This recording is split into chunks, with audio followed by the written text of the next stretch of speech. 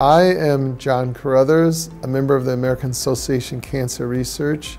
and I bring cancer research to life by highlighting colorectal cancer screening and new technologies for that and to reduce disparities amongst those who need to be screened for colorectal cancer.